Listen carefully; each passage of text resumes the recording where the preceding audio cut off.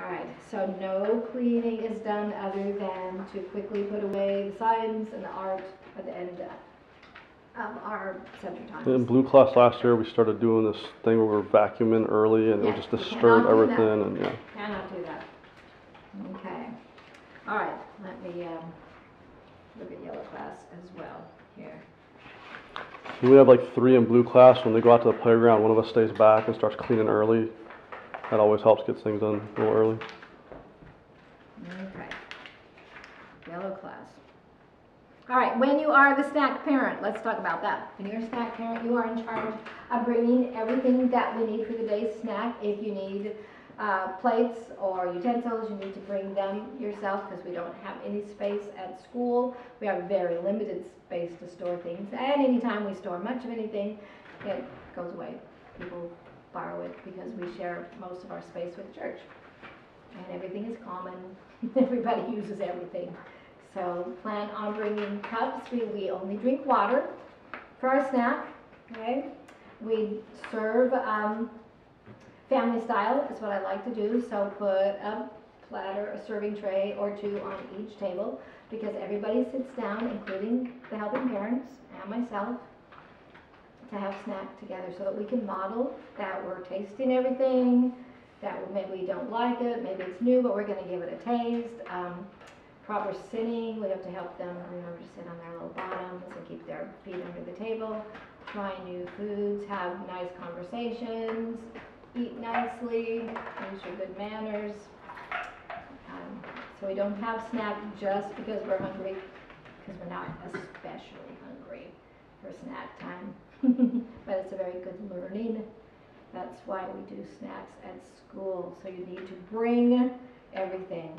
So snack guidelines, everybody has been bugging me to know what to bring for snack.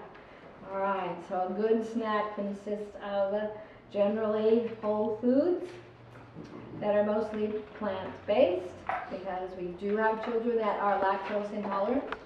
So that's a really good thing to bear in mind. And we only serve water, as we said. We need to bring the water too. Yes, no, we do not, sorry. We have, we have our, um, right, just cups. We have two water filters that we use that are in the refrigerator that you could fill the snack pitchers. And we have little snack pitchers because especially in blue class, the kids are learning to pour their own water. Okay, all right, so some good things. There's the list. Apples, oranges, bananas, kiwis, grapes, strawberries, carrots and celery sticks, melons, pineapple chunks, cherry tomatoes, broccoli, cauliflower, blueberries. We didn't make the list, I don't know why. but any of those things are great snacks. This is also a really good time to bring something from your um, cultural background. If there's something that your family especially likes to eat, you could bring that for snack. Okay? That's a good thing to try out. New things. I, I love it when parents will do that. um, if you're going to have bananas, most children will not eat an entire banana, so cut them in half or maybe even thirds.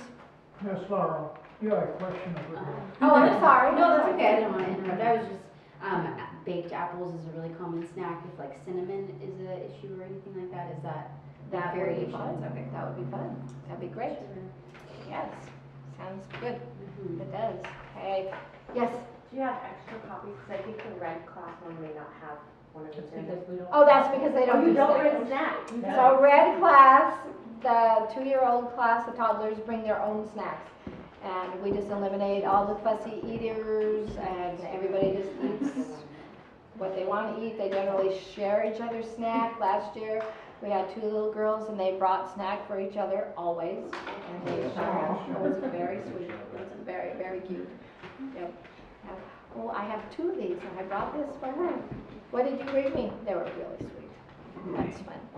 So you can have cheese chunks sometimes, string cheese, popcorn is okay, uh, tortillas, stuff with tortillas a little bit. Occasionally, you might want to do a peanut butter sandwich. You can cut them out in shapes. Um, sometimes you can have muffins. We don't want a lot of that. They usually tend to be really sugary, and you don't need any more sugar So I had a little girl in this afternoon, blue class, we read the story about ice cream. Should I share my ice cream? And she, from the minute she saw the book, she said, oh, ice cream is not healthy. We never eat ice cream at my house. she complained through the whole story. I can't hear this story. I'm not looking at this story. It's like, okay, all right. Close your eyes and turn around. it was very, very sweet. Um, all right, there is a list of foods that are not allowed for snack. Chips, cookies, cakes, cupcakes, pudding, prepackaged fruits, snacks, soda, and punch are never allowed except for birthday. You could bring cupcakes, cookies, cake, a little bit of that. Just depends on how much sugar you want to fill the children up with. Remembering that their bodies are small. and a little sugar goes a long way on tired little people. Okay? They are bouncing off the walls. All right, next thing is cleaning up. At the end of your class, you have to clean up the classroom.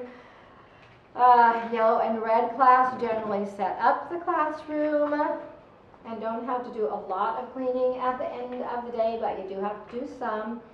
So everybody needs to vacuum and sweep and take out the garbage, make sure the tables are wiped down, um, and the counter in the bathroom, okay?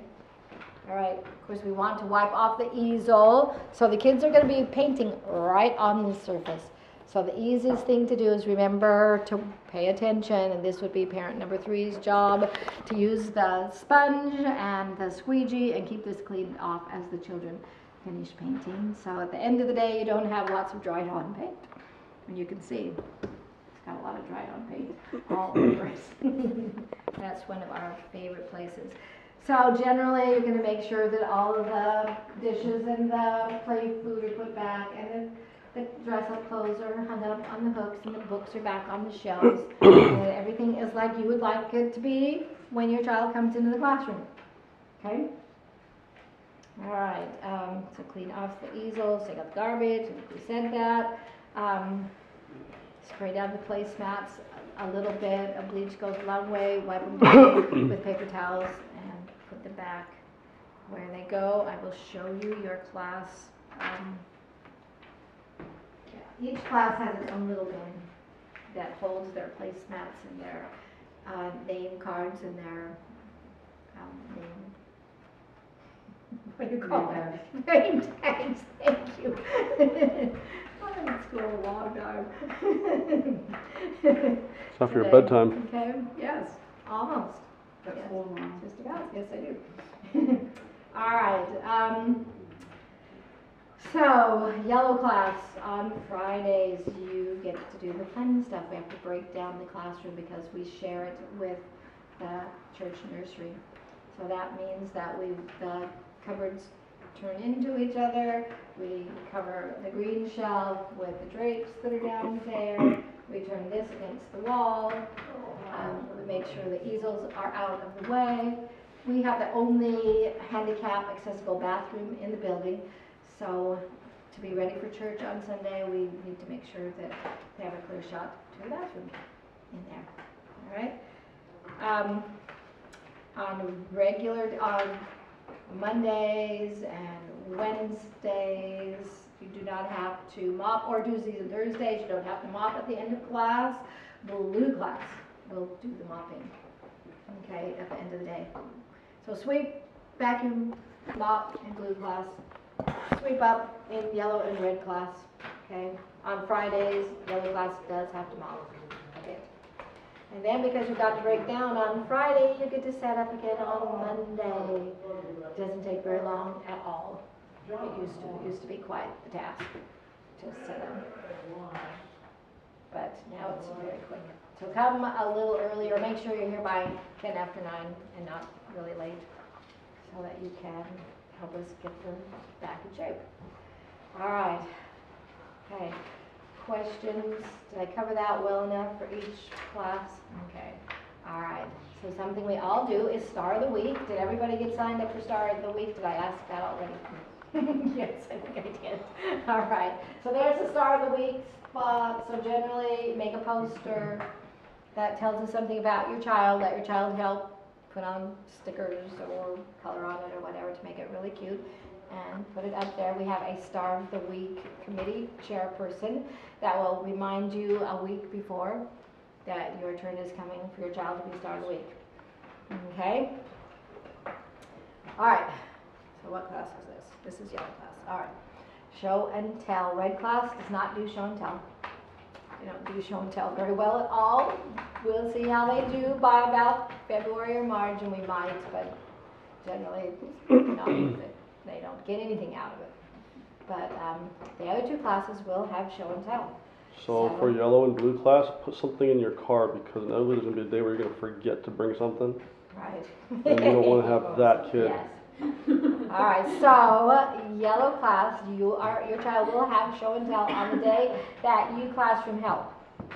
Okay, no matter whether you are a parent one, two, or three, your child will have show and tell. So starting tomorrow morning, the helping parents will, their children will have show and tell during one of our circle times. Please bring one something, it can be anything that they want to show. Still Thursdays for, for blue? Huh? Still Thursdays for Yes. blue? Yes. All right. Um, try to limit it to one thing for your child, because we're not great listeners, especially at the beginning of the year. All right, and have a chance to come stand next to me and show what they brought and tell a little bit about it, and then put it back in their backpack, and away we go. Um, in blue class, it's Thursdays, every Thursday, everybody can bring show and tell that day, okay? And like Mr. Mike was saying, make sure you have something that you keep in the car for show and tell, because your child really gets irritated with you if they have to show your keys for show and tell. Doesn't work, or your telephone, if they don't like it, trust me. Or if you're not here, then they've got nothing. Yes. Right, yes, in the other class, yes, yes, yes. All right, field trips, blue class takes field trips monthly, pretty much. Yellow class, not very often. Red class, even less. Okay, so you can read about that. Field trips are for the children enrolled in the class, older and younger siblings, unless they are also enrolled as infants, really are not allowed to come on our field trips. And to eliminate all kinds of insurance um, fiasco, or having to take care of everybody, gather your insurance information, copies of your license, and all this stuff, and making sure that we put car seats in, they're installed correctly, and that we have the right number of parents per car for children. If you want your child to go on the field trip, you bring them, you stay with them during the field trip. Okay, our field trips are lots of fun. I'm currently trying to work with the current apple orchard to get yellow class and blue class during their class times to take a tour of the orchard. They do a really cute job. You get to pick apples and it's very fun. They haven't gotten back to me, so I don't know what I'm doing wrong, but I want to go within the next couple of weeks to the apple orchard. Okay, so you will know about um, upcoming field trips. It will be posted on your um, class helper schedule on your calendar. Okay? And it will also be talked about in the uh, newsletter.